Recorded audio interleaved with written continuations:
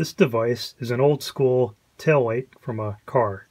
It's a light bulb that goes in the tail light of most cars, probably made from the 1950s up until maybe two or three years ago, and even some now. So we know a lot of those have been replaced now with LED technology, which is supposedly better, and it is in a lot of ways. So the cool thing about this light bulb, though, is notice it has two filaments in there. It's a dual filament light bulb, and one of the filaments is the tail light on the car, and the second filament is the brake light. When you step on the brake, then it closes a switch, and then the, the brake filament lights up.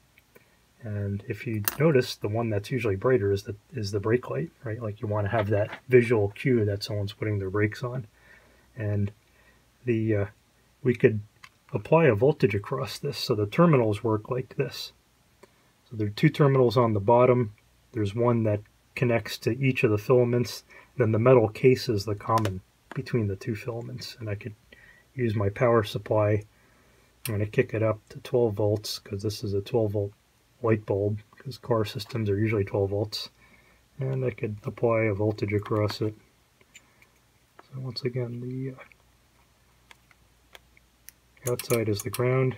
Oh, you can see that is one of the filaments. And then the other filament. Can you guess which one's the brake light? First one? Or second one?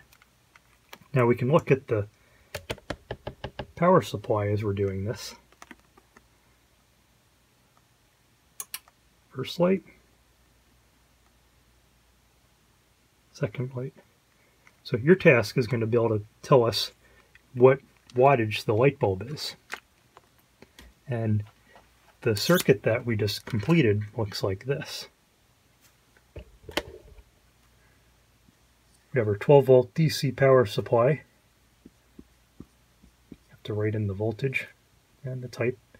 And then we had the red wire and the black wire. We touched the light bulb and a light bulb schematic symbol looks a little bit like that. There's different types of them. And that's one connection right there.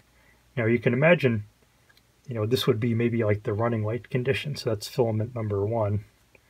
And then when we step on the brakes,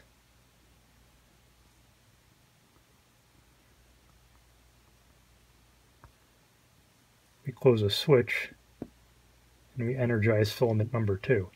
This symbol up right up here is a switch. And this is an open switch. In other words, when the switch is open, you know, the circuit is not complete, so no current's flowing.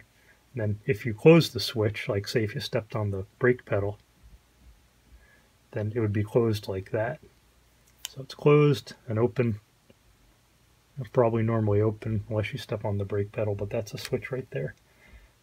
So EK307 is a lot about electrical circuit modeling. It's how to model different things as electric circuits or how to simplify things. And we could simplify our light bulb schematic and say that an incandescent light bulb, you know, an old school style light bulb with the filament in it, the filaments could be modeled as resistors. And you've seen resistors now probably plenty in the class. So instead of having those filaments in there, we could put in those two resistors. And you could, if we know that the voltage across the resistors or the filaments, and we know the current, then we could figure out what the wattage is, and it's really going to be the same equations as for a resistor or any other device.